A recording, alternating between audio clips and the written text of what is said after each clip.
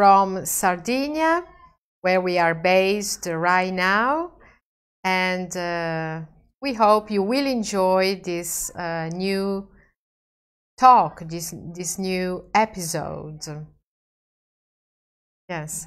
Tonight we are going to talk about healing again, but not this time connected to waters, but connected to earth energies. Because earth energies can be healing as well, just as waters. But usually, uh, people don't know much about uh, this possibility that Mother Earth has to heal, while it is uh, more common to know about waters. So tonight we are going to introduce you um, into this um, new topic, into this new dimension of earth energies and healing. Yes, yes, and especially because in Sardinia there used to be a tradition of healing using earth energies. We have to say that in Sardinia, in ancient times, and here I am talking about a very long time ago, starting from 7000 BC, uh, there was uh, a very uh, deep knowledge of uh, healing. Um, and um, this uh, tradition, uh, as I was just saying, was not only healing through um, herbs or through uh, waters, as we were just saying, but also energies from Mother Earth. And this is what we want you to discover tonight. So we will show you some of the places where you can actually have healing thanks to Mother Earth, but uh, we are also going to talk really about this kind of, healing. What was it about? And is it still possible to practice today this healing? And of course, we are um, saying hello to all the people connected. Thanks for watching. So um, we'll start with the show, tonight's Yes. show. Yes. Uh, here we are uh, with this PowerPoint of tonight. Um, as you will, uh, as you know, probably already know, we are um, made of energy. But uh, what is energy? What are we really made of? Um, actually, uh, thanks to um, a, dis- a recent discovery um, by Einstein and uh, other scientists, um, they found out that actually um, everything that is matter can emit, uh, um, do emit energies, and um, what uh, some kind of energies can uh, manifest themselves as uh, mm, matter. So um, actually, dualism in physics uh, between uh, matter and energy is just fading out. This is an incredible um, discovery that actually started a new era in physics. Um, started the era that is called now um, quantum physics, because actually um, energy, um, especially electromagnetic energy, um, can manifest itself as um, small quantum of an of matter. So um, photons were discovered thanks to this uh, theory um, that was discovered. Um, quantum uh, particles are actually some small quantities of energy manifested um, in um, particles which are matter and again everything that is matter can produce energy because the Einstein uh, Maxwell sorry Maxwell found out that actually um, our body um, emits these small quantities of energy quantum particles called uh, um, yeah um, this kind of particles. So um, that is why military uh, people can see um, people at night with their special military grade uh, glasses those glasses actually um, allow um, military people to see um, these small particles of energy emitted by us people. Um, so that is our aura. Yes. And, and this is uh, uh, absolutely a scientific discovery. So um, science already know that uh, we are producing energy, emitting energy what you see are the um, actually the different uh, part of us, different uh, frequencies we actually are emitting. Yes, and in ancient times, there was a different way to perceive things and nature around us. People were very, very psychic. They used their uh, very subtle perception uh, because people were uh, highly sensitive in those days and for this reason uh, they experience that everything is energy and that the different kinds of energies and frequencies are interconnected so um, they, they really had this kind of awareness. And for this reason, to them, it was very easy to connect with everything around them. They were really part of nature.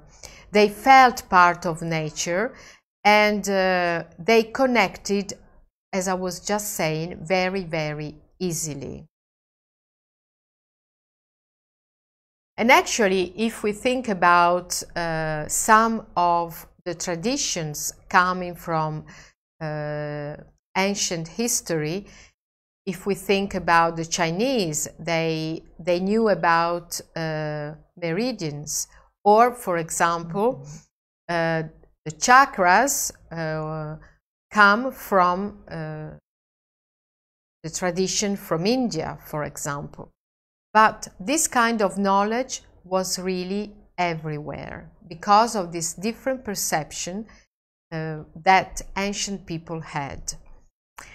And here in this picture, uh, which was uh, taken with a camera um, that is very sensitive and can actually um, imprint um, the subtle energies around us and our own energy, here you can see how wide uh, our energy field is. And this was taken, as I was saying, with a special camera and it was taken in a place of a very high vibrational energy. And so the two energies uh, merge together and they create uh, this field uh, as you see around the person which is really very very wide and very beautiful but everything in nature emits a kind of energy because everything is vibration everything is energy so it is the same for example with a tree with a leaf of a tree with fruits and with rocks and they emit a kind of energy. And um, in the beginning of last century in Russia, um, a scientist called Kirlian managed to create a camera that uh, was able to uh, imprint this kind of energy, mm -hmm. as we can see here. Yeah, and sometimes the subtle energies that are all around us are energies that we can perceive if we somehow um, connect uh, with our body and we meditate or we just have uh, a deeper attention to what is around us and we can perceive something happening within our self and in our body. And sometimes uh, cameras can actually, um, even if they are not special cameras, but mm-hmm. they can imprint this kind of subtle energy. And this is a beautiful photograph that was taken some years ago here in Sardinia in a place of very high energy. And here you can see a flux of energy that was coming out from the soil and reaching upwards. And as you can see, it is really a column of energy. And this was taken in a small church. And ancient churches uh, were always built uh, using very old criteria of uh, sacred architecture. And sacred archi architecture was based on energies. Because in, a, in sacred architecture it was very very important uh, to make the place vibrant so that when you entered that place you felt you were in a place that um, belonged to uh, gods and goddesses. It was not our uh, daily place uh, where you live daily. But it was something really, uh, something really special. And for this reason, um, sometimes if you're lucky with your camera, you can actually imprint the energy of these places, of very old churches, for example. As you can see, this is a very beautiful column of energy with beautiful colors like uh, uh, light blue and you have golden, you have uh, pink, and of course it shows that the energy is really very positive. And um, this picture was taken mm-hmm. again in a place of energy. Uh, as you can see, it is a cave. It is a place in Sardinia a place that has a very high vibration and for this reason in places with a high frequency, high vibration, um, many times it is quite easy to perceive our aura. And this is the case, as you can see, and we can tell you this is not a special camera. It was not taken with any kind of filter, just a normal camera and you can actually see uh, the energy coming out from this person's hands. Mm-hmm. Which are again uh, uh, photons emitted by us.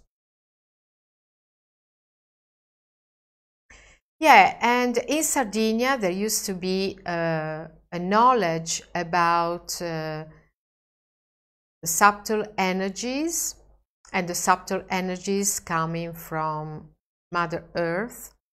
And uh, this knowledge uh, was so deep that uh, they managed to build uh, thousands and thousands of monuments connected with the healing, with the energies of Mother Earth.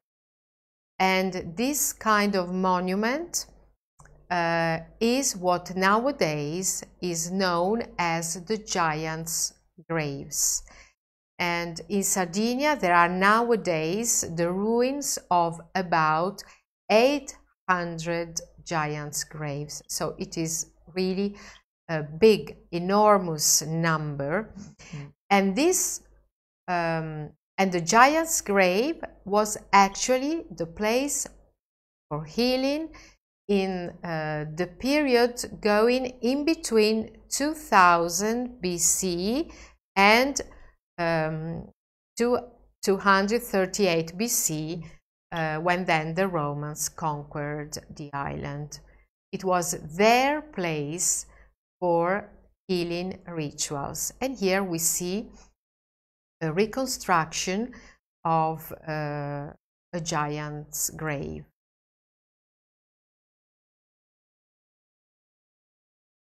We actually know that the giants' graves were used for healing because much later on in the 5th century BC, the Greeks arrived to the island and um, because they had trades and cultural uh, connections and they were very much impressed by some healing practices that were common in those days in Sardinia.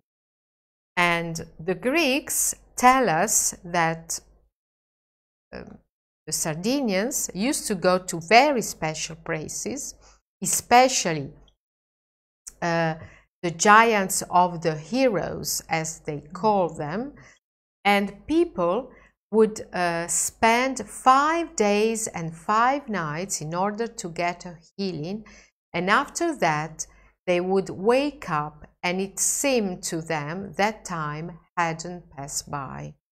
So this is actually something that we have as a report from the Greeks.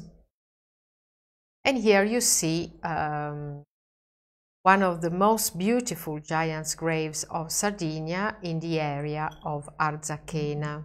Still quite well preserved. It was partly restored, but it is very well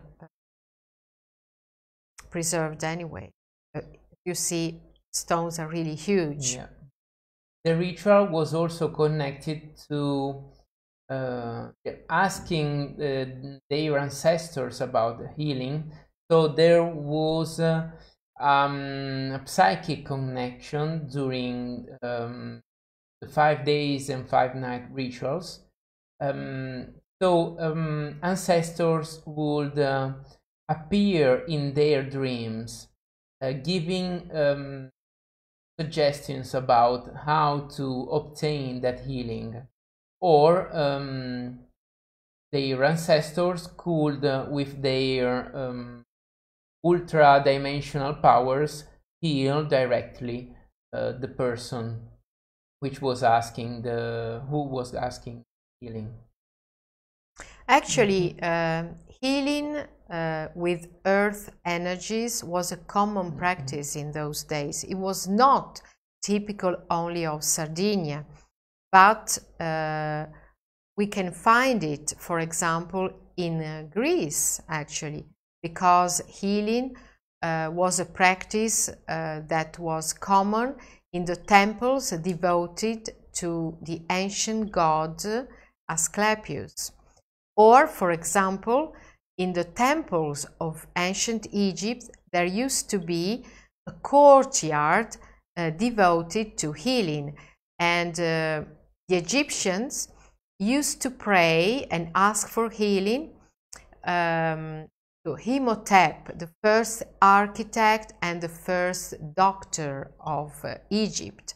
Um, Imhotep uh, is actually very, very ancient uh, figure of uh, Egypt. And he, he said to have built one of the oldest pyramids, the pyramid of Saqqara. But also we have, for example, evidence of small statues found in the island of Malta uh, showing women lying down and probably uh, those were priestesses uh, absorbing energies from Mother Earth. So we know that in very old days, people would go uh, to caves, would uh, go there for healing purposes, sleeping in caves and absorbing uh, the natural uh, beneficial energies in there. Um, here we have another picture of another giant's grave of Sardinia. This is, uh, as you see, very, very well preserved. And uh, you see that uh, behind um, stones that are uh, like, you know, semicircle. semicircle.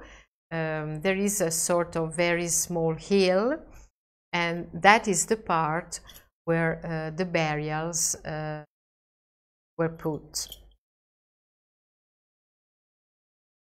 And here we have. Um, this is the corridor, corridor, of another giant's grave. This is in Olbia. Um, so the corridor Arianna was talking about uh, behind the hemicycle uh, was made like this. This is a small perspective. And as you can see, Actually, uh, giants' graves are very, very old because there are some examples of uh, giants' graves, like this one, um, which are made like um, um, the origin of this giant's grave was uh, a very big dolmen. So, as you can see, uh, this corridor is made uh, with three stones and another three stones and another three stones put in line. Uh, so um, originally it, the giant's grave was a dolmen, um, multiple dolmen, a very long dolmen uh, used to um, because it was used uh, for uh, many um, burials. So when uh, the dolmen was full, they just added um, some dolmens in order to continue the ritual. Um, after some time, it became a giant's grave, so they changed the, the kind of architecture. But um, original, it is a dolmen, which is um, a monument that you can find uh, all over uh, Europe, uh, used, used for burials and for contacting uh, the, the ancestors. In those days, and anyway, in the vision of uh, Sardinian people in ancient times, death was not uh, the end of everything, mm -hmm. but it was just like a transit into a different dimension, a different life. And so it was a place, uh, consider a place of eternal life. For this reason, um, it is not strange to think that people will come uh, at uh, a burial place in order to get a healing. The two things were somehow connected because it was the place of eternal life. Here we see another beautiful uh, giant's grave, a very old one. And this one is the one in Palau. And uh, yes, um, when we started to um, investigate about these ancient rituals, our uh, question was, uh, okay, the ancients would go to these places for healing. Was it just because they had a belief? Was it because it was the place of their ancestors and they would pray there? Um, or um, was there actually something, something tangible uh, that helped a healing? Or was it only a ritual, uh, the ritual taking place having an effect? And what we have found out over the years during our research is that the healing, apart from the ritual that had, of course, a role uh, within uh, the healing the people, pilgrims who would go there, actually there is something in the place, a kind of, uh, uh, using modern word, a kind of energy, a subtle uh, energy, working there, helping uh, with healing. Yes, and uh, actually uh, the flux of energy um, is actually um, flux of magnetic energy working here and helping the healing is actually right uh, in the center of the monument. So let's think about the architect um, deciding to build a giant's grave.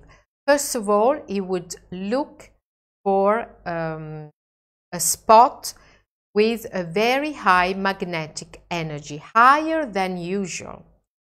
And there, having found this uh, spot of magnetic energy, this flux of magnetic energy, would then decide to build the monument. Um, there was actually a person that had uh, this um, special uh, gift to feel uh, the energy coming from Mother Earth.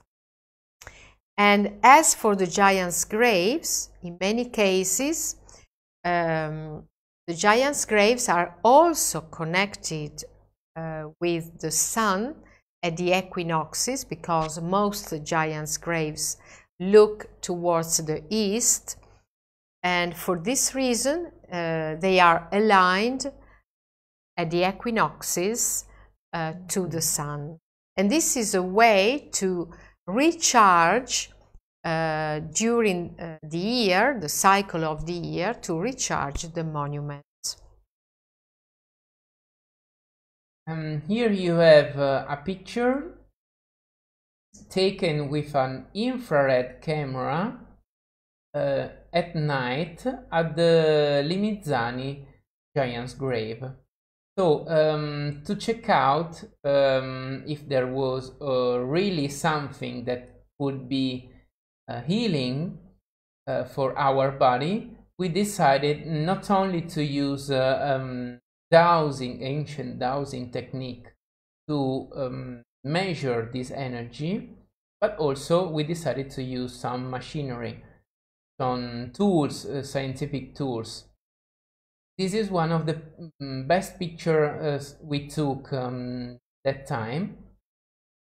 As you can see, um, there is a production of photons inside um, the small arch you saw on in the picture.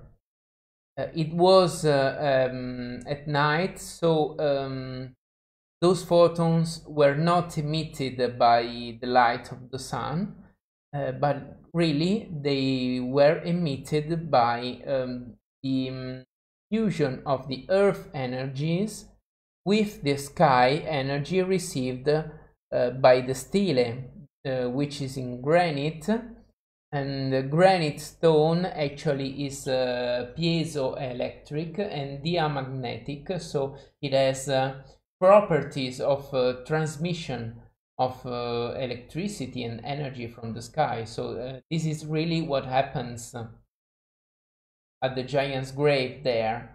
Um, sky and earth energies melting, mixing together to produce a series of um, subatomic particles, uh, which um, we receive when we uh, lay down in a giant's grave to have a therapy. Mm, mm-hmm. literally, uh, we are uh, constantly um, heat bombarded by the subatomic uh, particles and energy particles, which uh, can have a very strong effect uh, on our body. Uh, as you will know, in um, hospitals, they are uh, experimenting now with uh, magnetotherapy, with fluxes of energies along the body, um, and other new techniques, very similar techniques actually. Um, this is what happens naturally at the giant's graves. Yes. And here we have uh, um, an incredible uh, result. We had uh, uh with a small child. She was a nine years old girl and you have the X-rays of um, forearm. Um, on the upper um, picture, uh, you can see the status quo before the therapy. And as you can see, uh, on her bone, uh, there's a very big hole. Uh, she had this um, range uh, um, sickness, which is called uh, this is a ca cancer um, of the bones. Yeah, yeah. -hmm. um, osteomyelitis, osteomyelitis. So um, the the bone uh, is not like eaten up by. Yeah, the bone is not uh, um, calcifying. Okay, mm. so the calcium uh, in, was lost. Um, medical team decided to to cut the arm actually in order uh, to prevent the, the sickness to um, eat up all the body um, so um, of course um, parents were very very um, worried, worried about that so they decided to do um, the impossible. Tried impossible. Tried yes. impossible. Um, of course, many times when people don't believe, they just try. Uh, only if uh, you are on the in, in Italy in Italian we say the last beach. so there's nothing nothing else to try. and actually, um, she tried and she had uh, a 40 minute session um, at the giant's grave for nine consecutive days um, exposing her forearm to this flux of energy and waiting to see what happens um, as you can see um, the bones of the um, up um, the upper picture are also more transparent. So really the bone was not calcifying enough. Um, on the lower picture, you can see uh, the x-rays that were done before the, the surgery, which of course uh, was decided not to be done. It, uh, the surgery was cancelled because uh, um, the bone was completely healed um, yeah, thanks this... to the this kind of um, exposure energy. exposure to this um, energy, this uh, uh, yeah. subatomic particles which yes. are produced inside the giant's grave. Yeah, maybe you can go back a picture or two just to show where you can actually mm sit down So you see the hemicycle here and uh, so the best way is to sit uh, over there to sit on the stones there and um, yeah. on the front part of yeah, the monument, giant's grave yes, yeah. because on the hemicycle this one was the part uh, this part was um, used for barriers Here, in the front. in the front. You sit there and you, you just you can put your shoulder yes. on the stones. And it's very comfortable and you just uh, absorb the energy there you don't have to do anything else but absorbing the energy for about half an hour uh, 40 minutes every mm -hmm. day let's say at least uh, nine ten days then it depends mm -hmm. on the problem you have we have to say that um, okay in ancient days they would do it five days and five nights because uh, to them this was like a pilgrimage people would leave their village and would go to these places but nowadays with our lifestyle the best thing to do is to go daily and uh, sit there for uh, you know in between half an hour 40 minutes 45 minutes and you can get really a very good result. It is a kind of energy that works simultaneously on four different levels. One is the physical level, then the emotional, the mental, and the spiritual level. That is uh, the energetic uh, level, the level of our uh, energy. And because energy is anyway clever, goes exactly where you need it, um, and it will fill and nourish uh, the parts that are lacking energy. Uh, it is also um, a kind of cleansing, very deep cleansing of all the organs. And um, after a while, your organs will start to emit the right frequency and uh, everything will be in balance again. And it is all very natural. So there was this knowledge in ancient days that Mother Earth could be healing. We know uh, nowadays that uh, there is an average um, concerning um, the energy uh, transmitted by uh, Earth, and that is uh, in between 50 and 80 megahertz. Um, when we decided to check up the giant's graves also with tools, we decided to use the frequency meter in order to check up if uh, at that point of the soil the ground, mm, there were uh, special frequencies different from the normal value of 50, 80 megahertz. Mm -mm. And this is what we actually found out because at the giant's grave you have a frequency that is 437.5 megahertz. megahertz. Yes. So it is almost 10 times the normal value.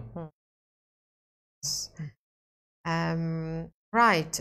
So um, I don't know if there are any mm -hmm. comments or people watching from people watching if we can have a look if there are any questions is it possible mm, of course yes. Okay.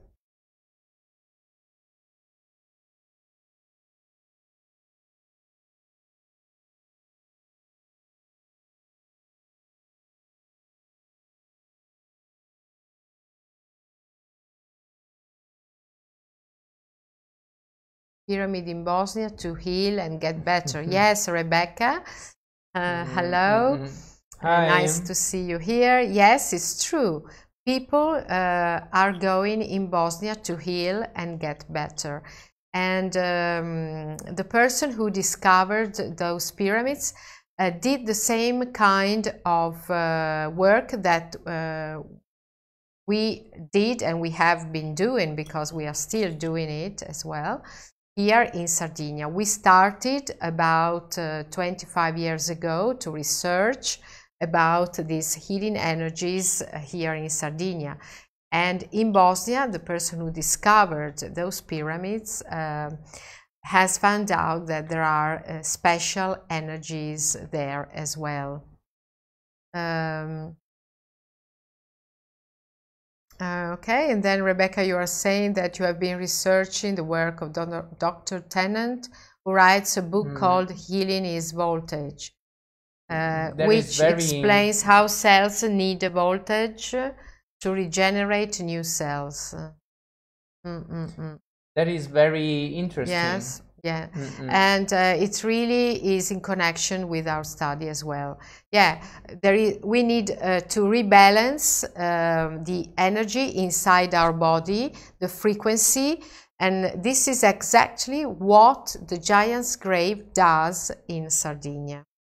It, it is exactly this. So if you are lucky enough to come here once a year or even better twice a year and have two cycles, uh, you will really feel much better. Your immune system and uh, your bones uh, and you feel really much stronger. And actually, there are people who uh, do exactly this in Sardinia, coming yeah. every year, uh, not only uh, you know for the sea, but also to absorb this uh, very beneficial energy. So um, the ancient knew uh, exactly what to do in, mm -hmm. with the energies of Mother Earth which is extraordinary, I think. And it is a kind of knowledge that we think uh, we should go back to. Um, yeah. Yes, um, using uh, natural energies to keep healthy. You know? mm -hmm. Sorry for the problem of connections that you are probably experiencing, but uh, this is the line we have. Uh, it's uh, we have many tourists now so uh, probably uh, the video is moving a bit but we'll try to do yes. our best yes and see um, there are some comments uh, we uh, cannot read about planets um, but actually yes of course as, as we saw it uh, uh, you saw it earlier um, many of these uh, monuments are aligned to um, moon and uh, sun phenomenon mm, which mm -hmm. actually can change and amplify the mm -hmm. energies of the monuments and they also take part in the recharge of the monument and the effectiveness of um, those monuments on our healing process. Yes, and we actually have to say that when you go there to a giant's grave and it is your first time, you haven't tried anything like that before, and you just sit in silence and you feel the place, you will actually feel something happening in your body. Either you will feel very easily relaxed or um, you will feel a kind of tickling in your hands or a change in uh, your uh, body temperature. Sometimes you feel uh, cooler, sometimes you feel warmer, uh, sometimes you really feel uh, energy um, flowing in your body very easily, or you may even feel sometimes a kind of heaviness or um, suddenly um, a kind of um, headache, but just mm. because you have to adjust to the energy, for example. Or sometimes you feel your heart beating faster as well. And these are all reaction to our body adjusting to uh, the energy. And it is really impossible not to have any kind of perceptions. So even people who are not used to uh, physical exercises or to meditation or yoga. Um, sometimes even people are quite skeptical. When they uh, reach a giant's grave and they sit and they close their eyes and they feel, they will actually feel something uh, happening because the energy is so strong that it is impossible not to perceive it. And the best way is always to test it personally, of course. Yeah. Mm -hmm. Yes, mm-hmm. okay. So um, we have to say that mm-hmm. um, during this month of uh, um, August, we will have a special event mm -hmm. on the 14th of August uh, where we would uh, we are going to um, a sacred well and we are going to experience uh, this kind of ritual which in ancient times was called incubation uh, rite incubation ritual so we will sleep uh, in a place of very high energy in order to absorb that energy during the night and see if we can get mm. any kind of mm. special dream or uh, message, uh, you know, from other uh, mm. planes of existence. And so this will be on the 14th of August. Mm. So if you happen to be in Sardinia, and you feel like trying this kind of experience, you can contact us and we very happy to but, make you join. But also, if you have uh, ancient monuments, uh, of course, we um, someone should uh, a dowser should uh, check out if the monument is uh, positive and if it that monument can have these kind of effects. But uh, I will suggest you if you have some monuments similar to this one you saw around your house, around your uh, places, um, that um, where you know that uh, healing rituals took place please uh, go there and try to feel your body, mm-hmm. uh, feel your sensations, mm-hmm. and see if something happens um, to you. For example, um, many French people uh, do that in Carnac, at the Carnac um, Menhir alignment. Um, they do that uh, um, really for um, to get an healing and uh, if you do that um, the suggestion is this one actually sometimes with those kind of energies um, you need to have uh, a release of the um, of the disease. So sometimes uh, the um, the pain some muscular pain for example uh, some aches uh, um, Some aches, aches, uh, mm, aches uh, pains. Uh, can um, emerge. Mm -mm. please continue to do the therapy because uh, actually um, um, the sickness, the disease is healing. It is not something negative for you. Um, this, our cells are just adjusting um, to and trying to expel the the disease um, in order to get a healing. Sometimes uh, you have uh, uh, some um, yes. pejorative effects. Worsening. Worse, worsening, some worsening. Yes. So do continue to go to the um, special site because it is having effects. Mm -mm.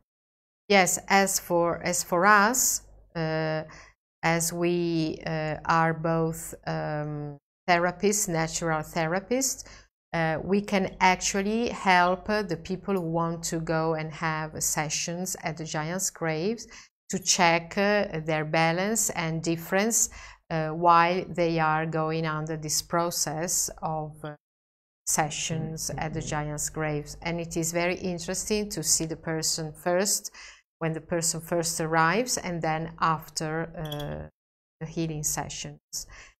Yeah, so it is a very interesting uh, topic, uh, quite new, but it is uh, mm-hmm. nice to read that there are doctors uh, now starting really to uh, understand better this kind of healing, like Rebecca is writing about Dr. Tennant. And uh, yes, these places help with cell regeneration and with uh, a complete renewal and regenerations of our body and our uh, subtle body, our aura, and so on. But we will continue this topic um, in a new episode um, here on Bridges of Light. But now, for now, we have to say goodbye. We have to mm-hmm. stop a bit earlier tonight because uh, at 10 we have to start the Italian um, live and we are going to have a ritual uh, connecting us tonight to the moon. And for this reason we have to get ready for uh, the ritual. But we will be very happy to see you again here uh, on Bridges of Light International